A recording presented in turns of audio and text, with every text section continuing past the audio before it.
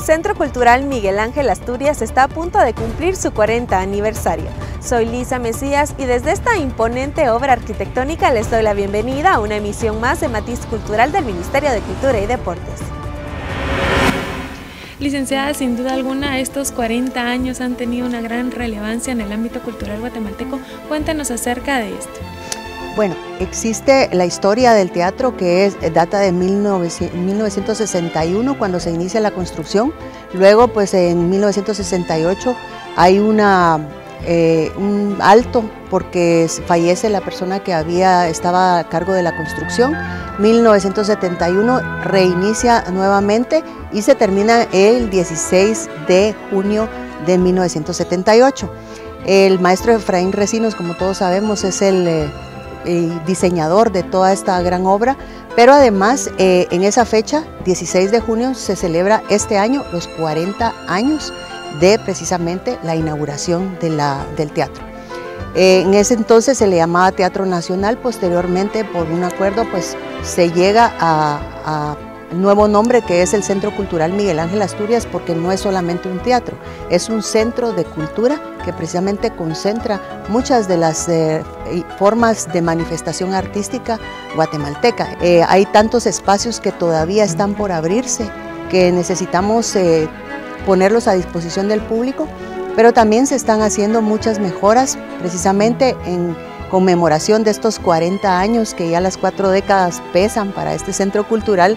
En primer lugar, algunos eh, arreglos que podríamos llamar cosméticos, pero que son muy importantes, por ejemplo, el tema de la jardinización, eh, pintura, el remozamiento de la, duela, eh, rebarnizados. Luego tenemos que también hay algunos problemas de filtraciones, entonces esos ya son problemas tal vez de mantenimiento, pero a la vez se están dando eh, muchos proyectos que son para poder cambiar todos los sistemas de luces, de sonido, las consolas que ya estaban obsoletas, entonces eh, a partir de un par de años hacia acá se han estado cambiando algunos de estos eh, elementos técnicos, por ejemplo, las pantallas, las pantallas que ahora se usan, los mappings, que es por ejemplo la, proyección de imágenes en esas pantallas, todo eso ya lo vamos a tener. Algunas de las cosas como es la cámara de sonido digital, que es por fibra óptica, ya están en funcionamiento. Eh, algunas, algunos temas de luces también. Y pues tenemos una serie de proyectos que están para este año y otros que están para el año que viene, para poder hacer de este un centro cultural a la vanguardia de la tecnología. Por el cuadragésimo aniversario de la inauguración del Centro Cultural Miguel Ángel Asturias, se realizará el decimocuarto Festival de Junio. Pues el público puede esperar una serie de eventos, de eh, presentaciones artísticas que se van a dar. Eh, son alrededor de 60 eventos, de diferentes fechas, horarios en los cuales tendremos una cantidad de artistas, eh, hay preparativos, eh, productores, directores y todas las personas que van a estar en escena. Bien, tenemos diferentes horarios, por ejemplo, los fines de semana, incluso hay algunas eh, presentaciones durante la matinal que son para niños. Y tenemos de martes a domingo presentaciones desde las 6 de la tarde en los, todos los espacios que tenemos abiertos, que es la gran sala, que es donde nos encontramos ahora, está el teatro de cámara, también hay presentaciones en el teatro al aire libre, pero también quiero contarte que también tenemos actividades en las áreas abiertas. Hay varias plazas que están disponibles, la plaza principal, la plaza de mujeres, la plaza Maya y otros espacios que también se van a eh, estar abriendo próximamente en este centro cultural. El maestro Roger Ovalle ha sido testigo de la historia de este centro cultural estoy desde sus inicios casi, ¿verdad? El teatro se inauguró el 16 de junio de 1978 y empezó a funcionar el 1 de junio de 1979 y ese fue mi primer día de trabajo. A partir de ahí, que yo dije que me iba a quedar nada más dos años, ya llevo como que nada 39 años vamos a cumplir. Entre mis recuerdos, pues naturalmente eh, está eh, Giselle, que fue una de, las primeras puestas en escena aquí con el Ballet Guatemala. En el Teatro de Cámara, la, primera puesta en escena fue El Búho y la Gatita con Herbert Meneses y Yolanda Williams. Me recuerdo perfectamente de la primera opereta que vino aquí, que es La Viuda Alegre, y después la primera ópera, que, fue también como una prueba de fuego para mí porque eh, se me dio para hacer la, escenografía, eh, fue El varón gitano y la flauta mágica. Gracias maestro por brindarnos estas anécdotas que sin duda el público guatemalteco debe de conocer. Ahora nosotros vamos a seguir con un recorrido por este Centro Cultural Miguel Ángel Asturias. Me encuentro en el segundo nivel del lobby de la gran sala Efraín Recinos, desde donde les comento que la Escuela Nacional de Artes Plásticas celebró su 98 aniversario y una de las actividades fue una exposición de obras de sus alumnos. Veamos los detalles. La Escuela Nacional de Artes Plásticas Rafael Rodríguez Padilla del Ministerio de Cultura y Deportes conmemora su 98 aniversario con una serie de actividades. Muestra de ello es la exposición de trabajos realizados por los alumnos una convocatoria abierta a todos los alumnos y de ello pues se seleccionaron las mejores y esa es la que están expuestas a partir del día de hoy. Esta mm, exposición eh, está contenida dentro del marco de la celebración del 98 aniversario de la escuela. Y hablando del 98 aniversario tenemos una serie de actividades eh, durante toda la semana. El jueves 10 de mayo, la ENAP entregará por segunda ocasión la Orden Rafael Rodríguez Padilla. La acreedora es la maestra Isabel Ruiz la licenciada Isabel Ruiz, un, homenaje justo para, para darle, hacer justicia, diría yo, a, su aporte que ha, ha hecho a la cultura de nuestro país. Las ganadoras del certamen son, tercer lugar, Valeria Valle, segundo lugar, Jada Stills y la primera posición corresponde a Nitsi Vázquez. La exposición consta de 24 obras, que observará en la Galería Rafael Rodríguez Padilla, de la Escuela Nacional de Artes Plásticas, interior del Centro Cultural Miguel Ángel Asturias. Ahora veamos detalles de la conmemoración del aniversario de la Escuela Nacional de Artes Plásticas que se celebró este 10 de mayo. La Escuela Nacional de Artes Plásticas Rafael Rodríguez Padilla del Ministerio de Cultura y Deportes celebró su 98 aniversario este 10 de mayo en las instalaciones de la institución educativa. Y llegamos al día de hoy, en donde nuestra comunidad educativa puede decir que sigue firme en su labor académica, consciente de una gran responsabilidad ante la sociedad, de ser garante de la educación de, las personas cuyo interés está puesto en el arte plástico. Ana María Martínez Sobral, Pepo Toledo y Manolo Gallardo son algunos de los artistas que participaron en la celebración. Pues es una importancia vital desde que comenzó la época del modernismo, ¿no? el presidente Reina Barrios eh, tiene la intención de, de, formar una escuela de artes plásticas y estuvo como dos años sin resultado, luego mandó a pedir un artista a Europa viene justo de Gandarias, que estuvo aquí, se va a vivir entre nosotros. Como parte de las actividades del 98 aniversario de la ENAP, le fue entregada la orden Rafael Rodríguez Padilla a la maestra Isabel Ruiz, quien por motivos de salud no asistió al acto de entrega. El Ministerio de Cultura y Deportes, por medio de la Escuela de Artes Plásticas, sigue formando a las nuevas generaciones de la plástica guatemalteca a la vez reconoce la trayectoria de los artistas que han marcado la historia nacional. Me encuentro en el Salón Dorado del Centro Cultural Miguel Ángel Asturias, desde donde los invito a que me acompañen a un corte y al volver conoceremos detalles de la historia del Conservatorio Nacional de Música Germán Alcántara con David Ortiz. Usted está viendo Matiz Cultural del Ministerio de Cultura y Deportes. Ya regresamos. Matiz Cultural, todos los martes a las 20 horas por el canal de gobierno. Ministerio de Cultura y Deportes, Gobierno de Guatemala.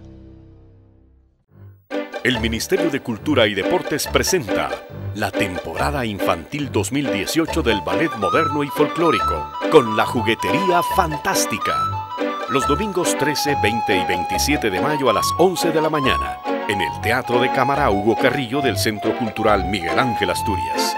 Admisión 30 quetzales. Les esperamos. Ministerio de Cultura y Deportes, Gobierno de Guatemala.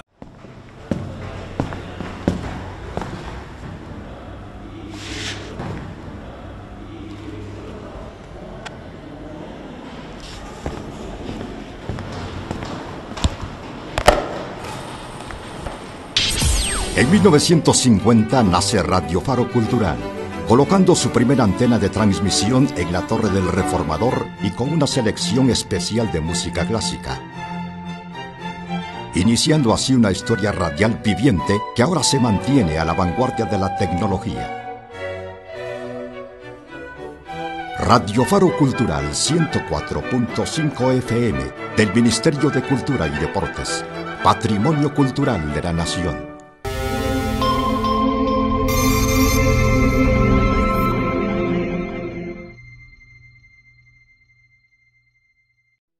El Ministerio de Cultura y Deportes presenta el Festival de las Culturas y el Deporte en San Pedro Pinula, Jalapa. Del 14 al 19 de mayo, los asistentes podrán disfrutar de conciertos, presentaciones de danza, arqueólogo por un día, talleres y recreación. Con el apoyo de la Organización de Estados Iberoamericanos, OEI, y la Municipalidad de San Pedro Pinula, Jalapa. Más información en la página www.mcd.gov.gt y en las redes sociales. ¡Les esperamos! Ministerio de Cultura y Deportes, Gobierno de Guatemala. Regresamos con más de Matiz Cultural del Ministerio de Cultura y Deportes. Me encuentro en el Salón Blanco y Negro cuyo diseño refleja la originalidad del maestro Efraín Recinos. Ahora acompáñenme al Conservatorio Nacional de Música en donde David Ortiz nos dará detalles de su historia. El Conservatorio Nacional de Música surge en el año de 1873, ubicado entre la décima y once calle de la 12 Avenida de la Zona 1. Su fundador fue el maestro italiano Juan Averne, quien además lo financió personalmente pero en el año de 1880 se estableció como Conservatorio Nacional según acuerdo gubernativo de fecha 3 de agosto.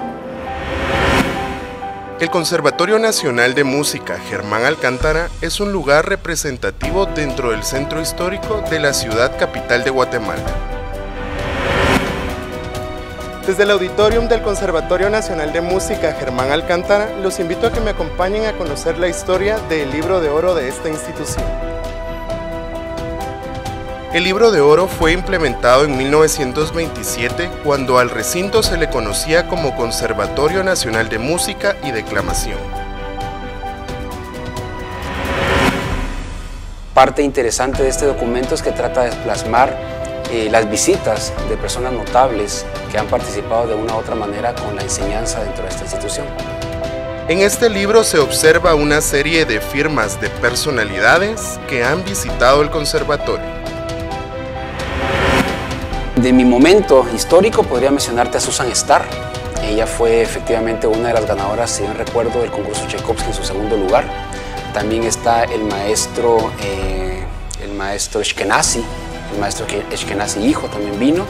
Tenemos obviamente eh, eh, anotaciones importantes de maestros del maestro Ardenois, del maestro Anleu Díaz, del maestro Herrarte, del maestro Quesada, el que fue en este caso padre de los actuales Quesada ahorita, tío de los actuales Quesada y efectivamente de prácticamente todos los directores que han participado en esta institución. Los personajes que plasman su firma en el libro de oro se caracterizan por su trayectoria y compromiso artístico. En una próxima oportunidad conoceremos más historias del Conservatorio Nacional de Música. El ingeniero Efraín Recinos logró concretar una obra arquitectónica que armoniza con la naturaleza. Ahora veamos cómo el Ministerio de Cultura y Deportes se prepara para celebrar el Día Internacional de los Museos. El Día Internacional de los Museos es un evento coordinado desde 1977 por el Consejo Internacional de Museos y ICOM. A nivel mundial, se realiza esta conmemoración el 18 de mayo con el propósito de generar la atracción del público por medio de distintas actividades. Guatemala, como miembro de ICOM, entró a esta celebración en el año 1977. Para este 2018, la temática es Museos Hiperconectados. Por medio del cual, a través de este tema y en una época que hablamos de globalización, los museos deben de permanecer comunicados entre sí, pero sobre todo al servicio de ese público que si el público no lo busca, el museo debe de buscar la forma de atraerlo. A partir de las 18 horas, el Museo Nacional de Historia del Ministerio de Cultura y Deportes presentará al público distintas actividades. El día 18 tenemos la presentación de la marimba de concierto del Palacio Nacional, seguidamente una conferencia acerca de lo que es la penitenciaría central, datos históricos y datos generales sobre algunos personajes eh, políticos que hubieron en esa época en la penitenciaría. Y luego la presentación del grupo de teatro Un Paseo por la Historia que nos contará acerca de la historia del edificio, eh, datos generales de cómo su construcción hasta cómo llegó a ser el Museo de Historia. El 25 de mayo se efectuará la Noche de los Museos en el Centro Histórico de la ciudad capital. El horario será de 17 a 22 horas.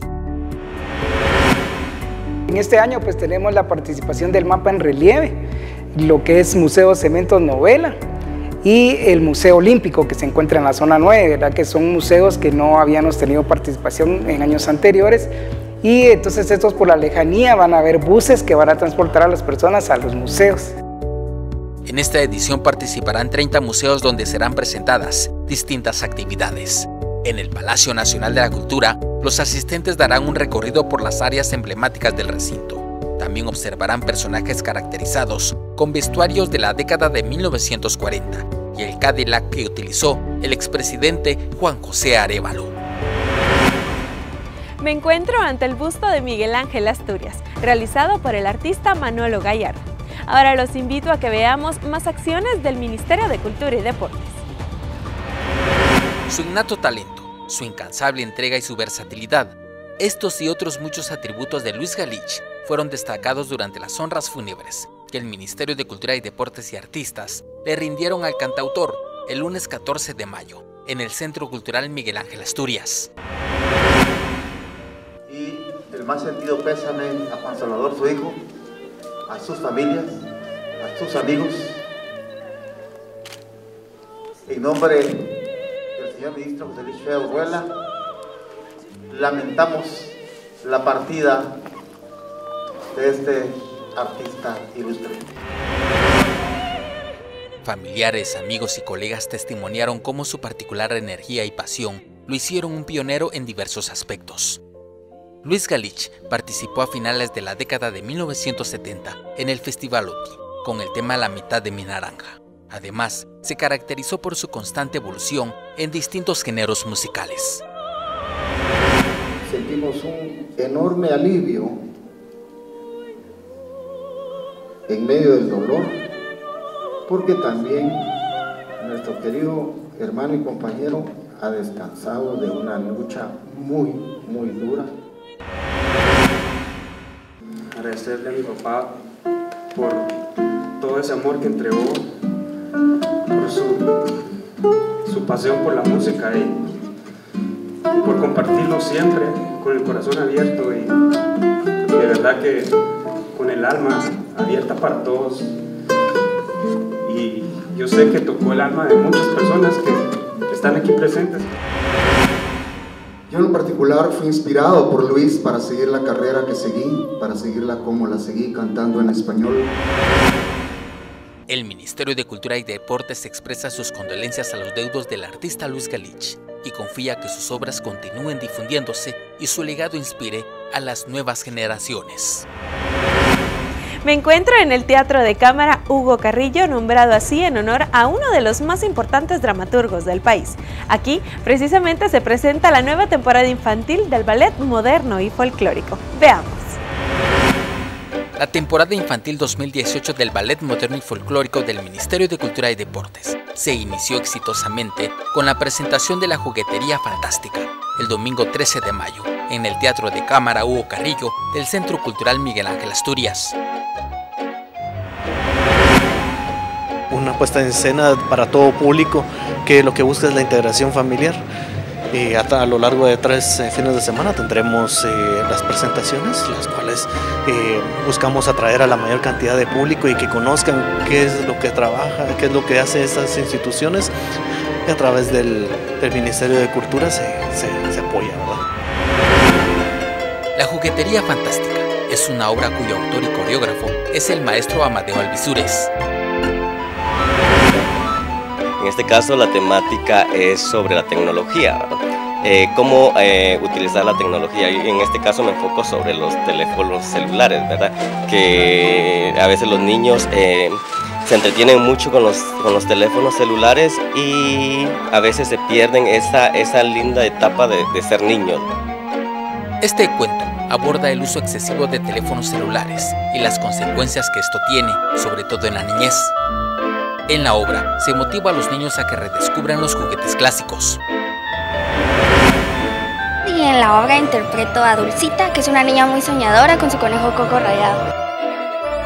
Ah, pues esperamos que lleguen con toda su familia eh, este domingo y los que quedan del mes para que puedan disfrutar de esta obra. La juguetería fantástica. Por medio de esta obra, el Ballet Moderno y Folclórico del Ministerio de Cultura y Deportes brinda mensajes que contribuyen a realzar los valores e insta a la convivencia familiar.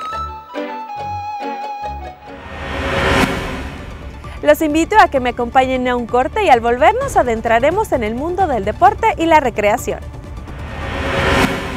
Usted está viendo Matiz Cultural del Ministerio de Cultura y Deportes. Ya regresamos.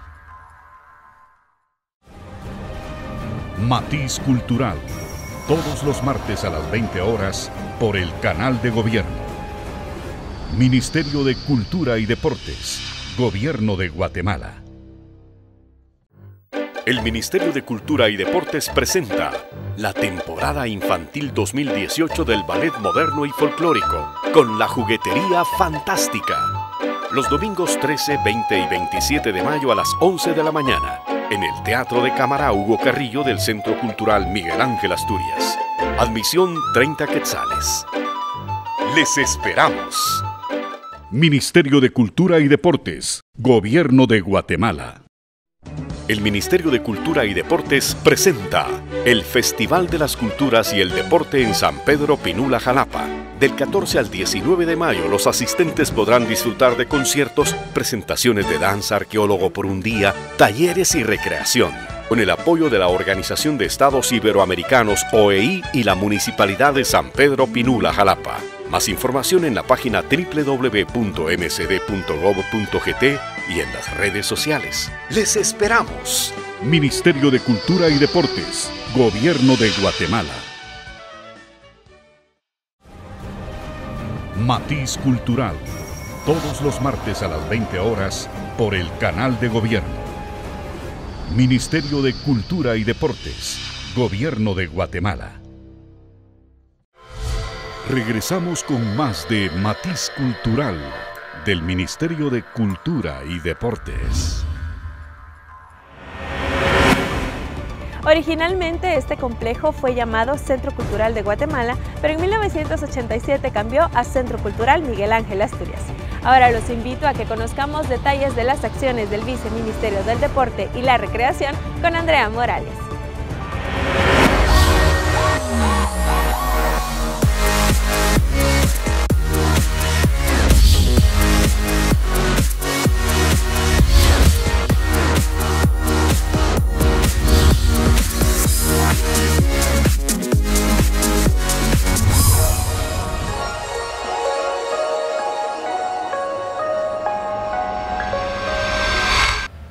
Brazo social del viceministerio permite darle la importancia que merece al deporte y la recreación, a todas las personas sin distinción alguna. Acompáñenos a conocer otras actividades destinadas a diferentes sectores de la población. Y en la búsqueda de la inclusión y del uso del deporte para encontrar la paz, el Viceministerio del Deporte y la Recreación organizó una competencia que propicia la convivencia sana. Se trata del Campeonato de Fútbol Infantil Mundialito 2018. Las fases eliminatorias municipales iniciaron la semana recién pasada en la ciudad capital. El tiempo límite para inscribirse será el viernes 25 de mayo y para este efecto puede acercarse a cualquiera de los cuatro centros deportivos. Parque Eric Bernabé Barrondo, Campos del Roosevelt, Campo Marte y Centro Deportivo Gerona. Los equipos deben tener un máximo de 10 jugadores y deberán tener un promotor municipal, un entrenador y dos madres responsables que viajarán con el grupo.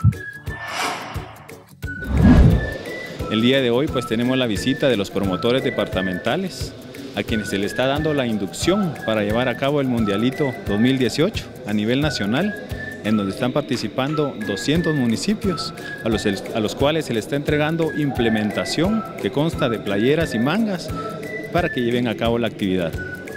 El propósito de esta actividad es desarrollar a la población infantil y que se vaya integrando, ¿verdad? A través que estos son los, indicadores de nuestra labor para que los niños vayan creciendo en una cultura de deporte y recreación pues hacer cultura física en, la población, eh, tener cultura de paz, eh, también conllevar una vida saludable a través del deporte, que es los grandes beneficios que nosotros tenemos al hacer deporte.